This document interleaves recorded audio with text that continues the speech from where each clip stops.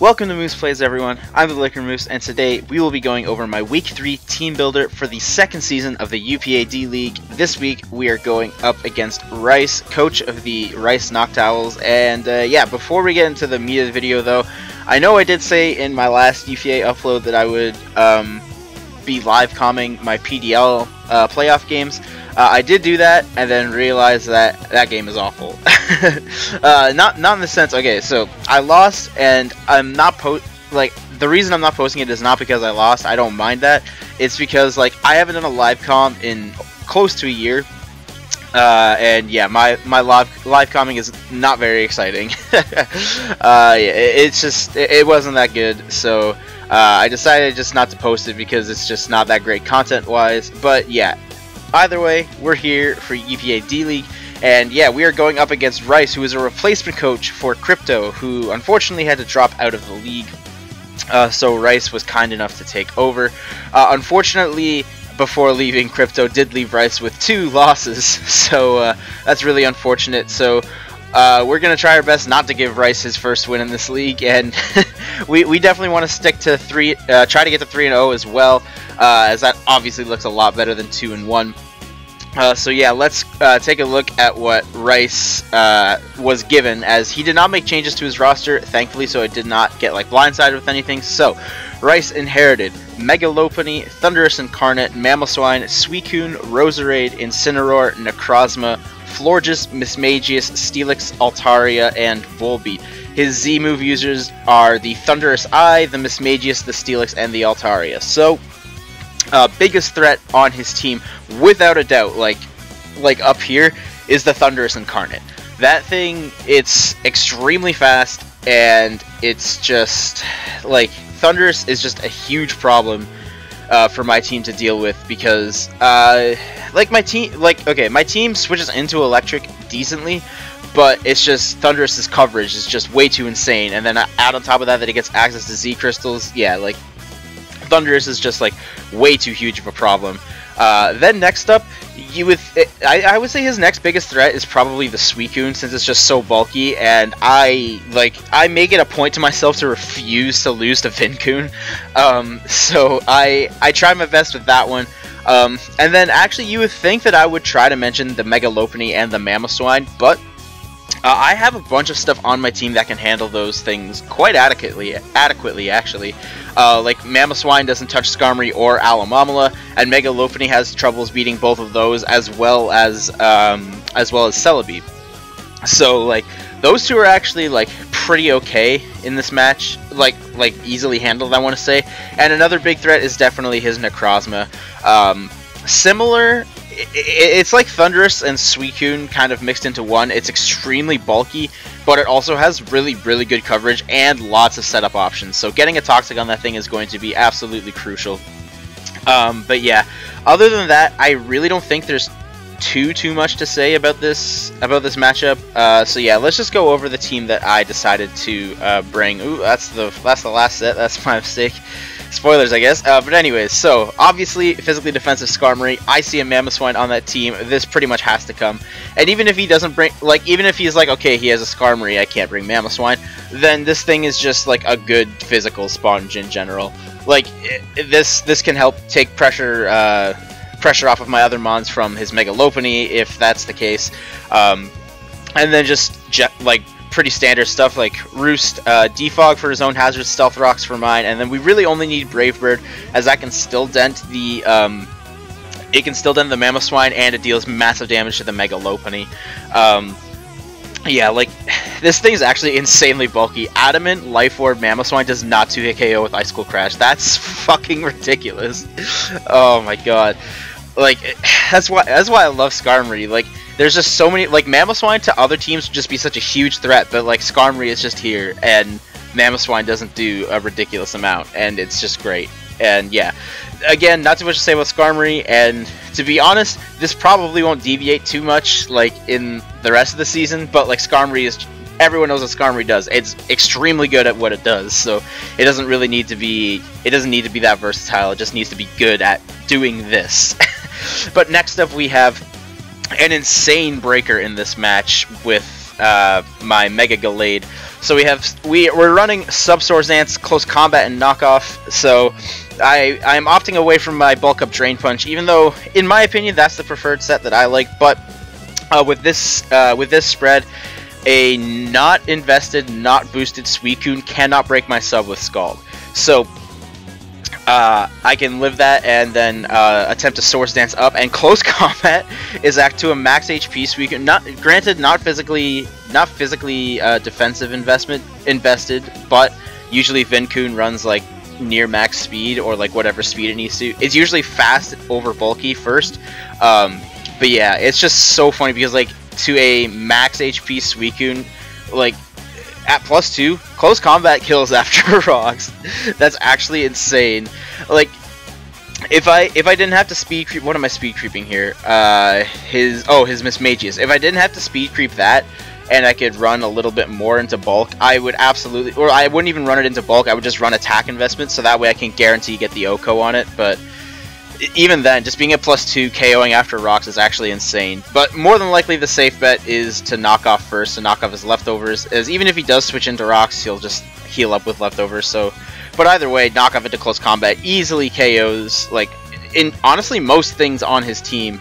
Um, the only thing that I might have trouble taking down with this specific set is his Necrozma, and that's only because um, Oh god, that's only because like after I knock off his item, then knock up knockoff is doing a lot less, and obviously it resists close combat. Um, but yeah, other than that, like this thing just destroys his team.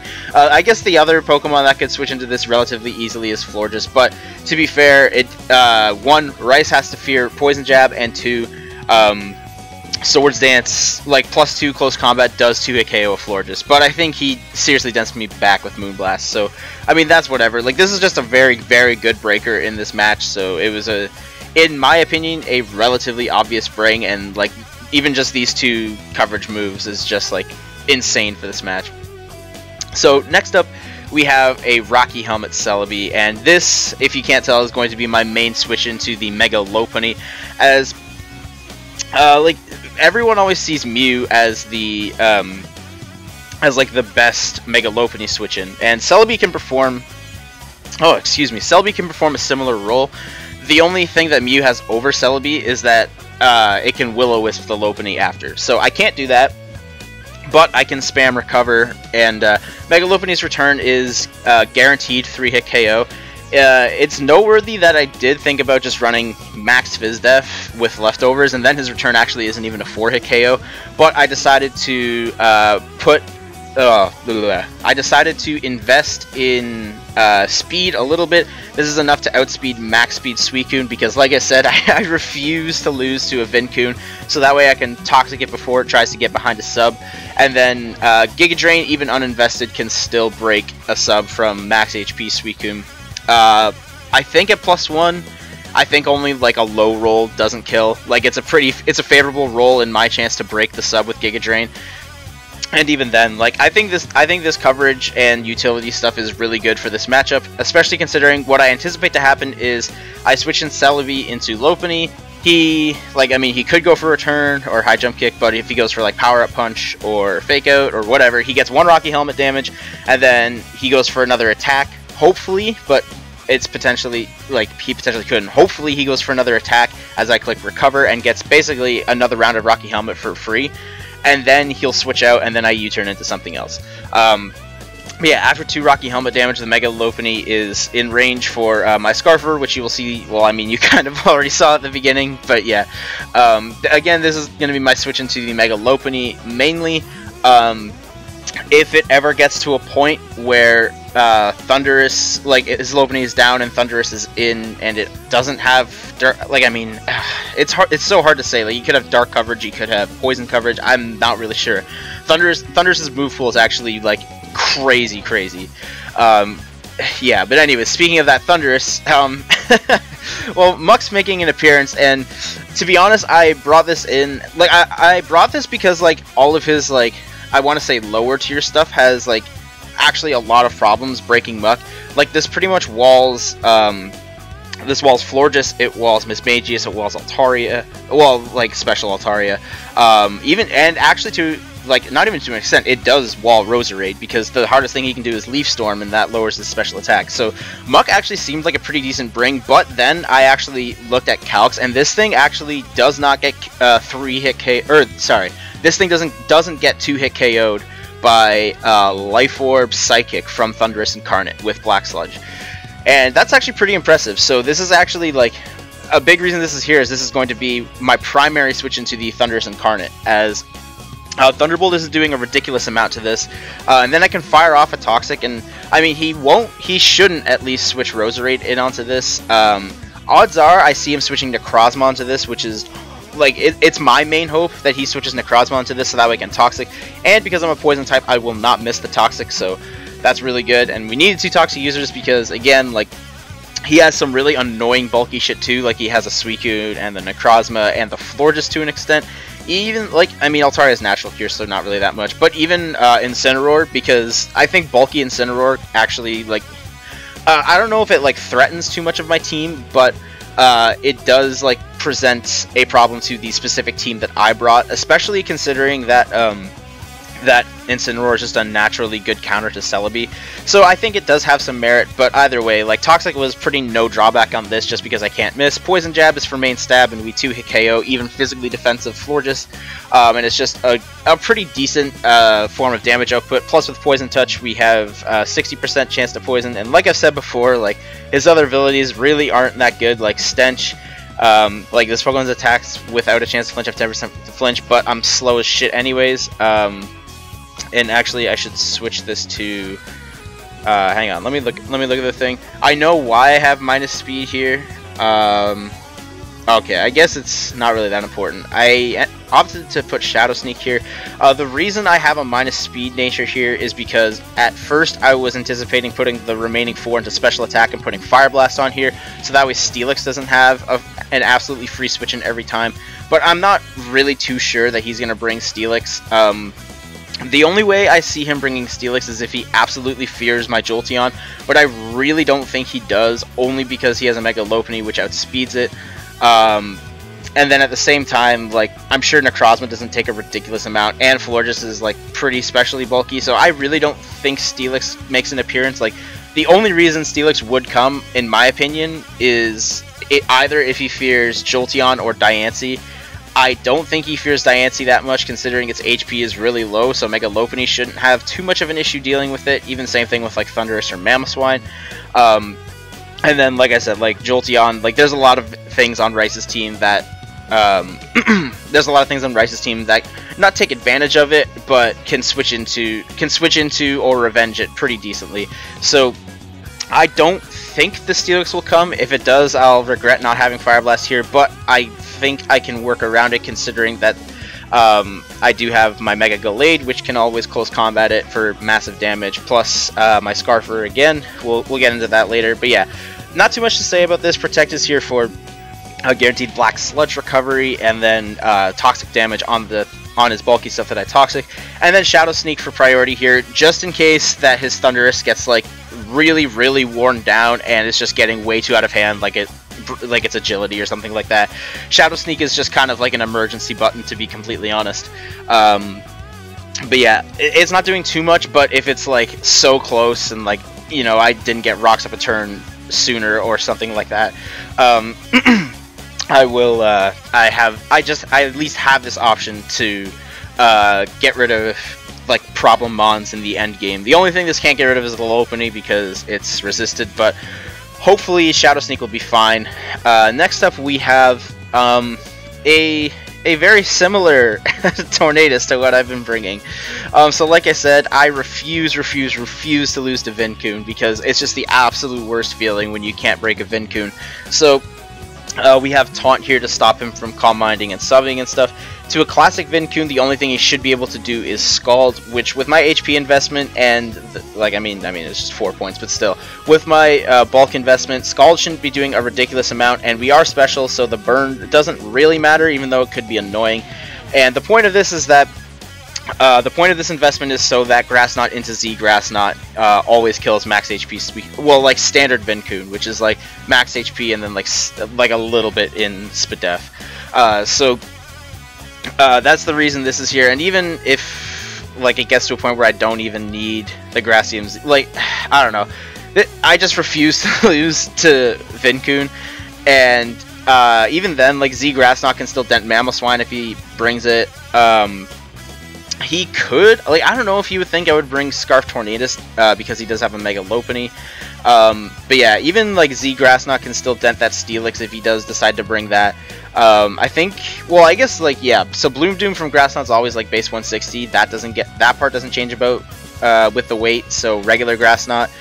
Um, regular Grass Knot probably won't do much, too much to Florges, but, I mean, I don't think Z Grass Knot would either. And then we just have Hurricane here as, like, you know, general, like, general stab is Hurricane. Bird bird spam things have issues switching into it. I think his only resist is the Thundurus and the Steelix. Yeah, that's it. So uh, and then so then everything else gets hit neutrally. So um, just kind of takes advantage of this, and he kind of and it kind of takes advantage of like my last mon. But again, like with Muk here, I really don't think Florges is that big of an issue.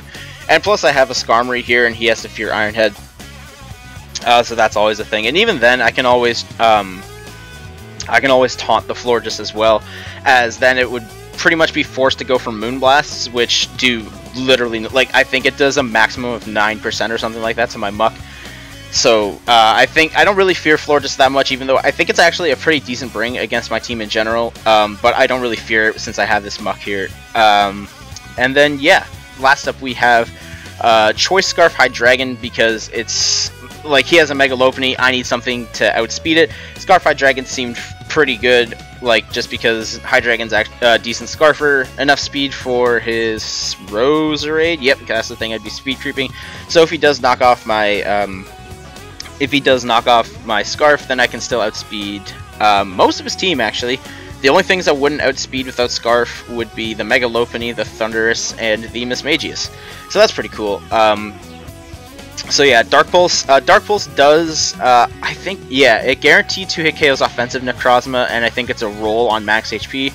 Um, so that's always a thing. Draco Meteor is here as general nuke. Fire Blast is the best coverage, uh, specifically again for that Steelix if it does show up. Um, but it's just like, barring the Suicune and I guess the Incineroar, Fire Blast is pretty no drawback. Um, and then U-turn, obviously, because Scarf U-turn, always good. Um, but yeah, so not too much to say about this. It's pretty, like this is a pretty obvious set, but it is needed because of that Mega Lopunny. So that is the team I am bringing. Hopefully this works out. Let me know what you guys think of this team in the comment section down below. And uh, yeah, keep your eye out on the channel tomorrow for when the battle with Rice goes live. I don't think, uh, I also don't think Rice put any links, so unfortunately I can't link, link you to any of his stuff. Jesus. And uh, yeah, thanks for watching, and we'll see you next time.